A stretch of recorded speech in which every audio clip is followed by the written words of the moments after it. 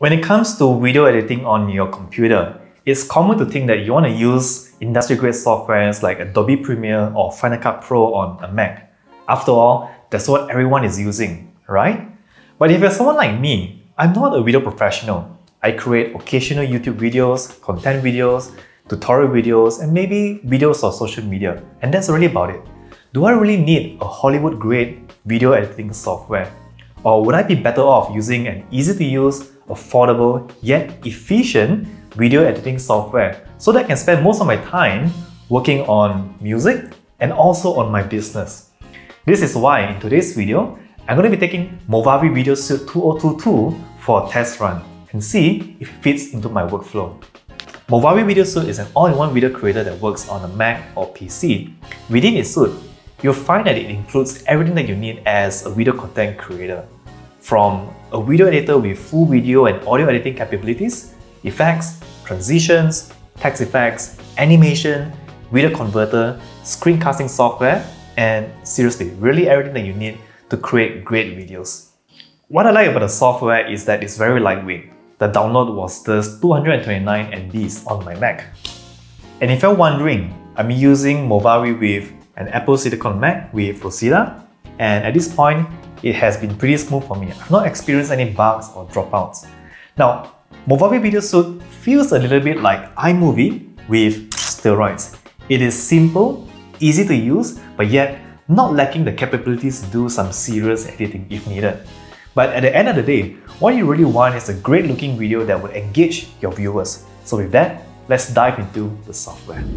The launch screen reminds me a lot of Adobe Premiere where you have the tutorials and also the shortcuts to get started. A lot of these prompts here are actually links to paid softwares by Movavi, which you might find useful. And you also find that there's a lot of upsells like the additional video effects and text effects and more. Now, one thing you want to know is that the software does come with enough effects and video effects for you to create great videos. It's those extras that you have to buy as a download bundle or pack. So to get started, all I have to do is just click on New Project. Alright, another upsell here, we can take that off. So I like that the interface is simple to understand. We have our tools on the left, all these tools here. We have the preview window here and the timeline on the bottom. So to begin, I'm just going to take three video clips and drop into the video editing software. Now straight away, you can see that it loads really fast and straight after I drop into the software, I can begin to just play and preview the video itself like that. Really fast, huh? Okay, so next thing we can do is to put in some video filters on the video. So I'm gonna click on one of my video clips here, go into the second tool, which is the filters tool, and you know there's a lot of filters that we can add here from different types of filters, um, from color filters, from lens filters and more to give some effect to our videos. So I'm going to use maybe um, a simple one here, like uh, this color filter here, drop in there, and straight away it's affected into my video right now. Now, you'll also notice that there's a star that appears after I drop in the filter into the video. If you click on that, you'll be able to change the intensity of the video effect, like maybe putting in about 39, that's good enough. And yeah, looks great. Because by default, now you can also double click your video clips to change some clip properties from the volume, normalize the audio volume so it's like it's loud throughout the whole video clip and more. Now, next thing I want to do is to play a bit with some transition effects. So to do that, I'm going to go into the transition um, tool tab and you can see that we have a lot of transitions that we can use here. Lots of them, right? I'm going to try something random here to play around and let me just find the cut of the video clip here. So I'm to take one, this is a random one here. Let's see what I can take here. Let's say I'm to take parallax 4. How does this look like? Okay, so that is a simple effect. Let me just try using this. Drop into the middle of the cut. And there we go. Now we have a nice transition. The next thing I want to show you is the text titles, which is quite interesting as well. You see that we have a few text titles which are also animated at the same time. So for example, and let's look at one of these and we can preview it. That looks nice, huh? So for example, since this video is a review video, I'm going to put in that title just above the video. And boom, we have that nice little intro here. So to Right. begin recording using the LED, Alright.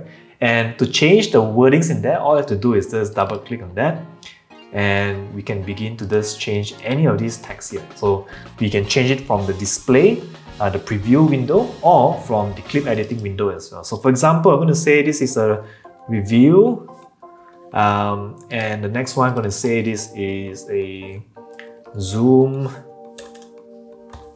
and live track.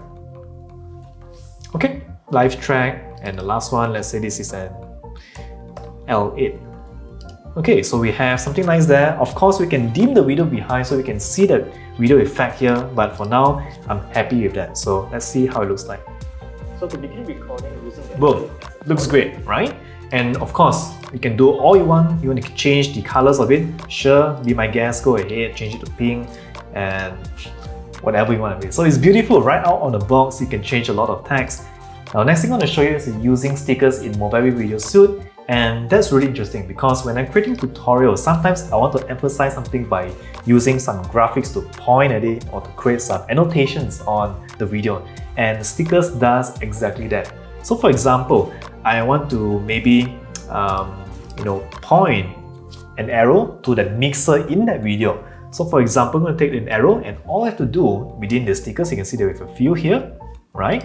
You can take maybe an arrow and also drop it above the video like that.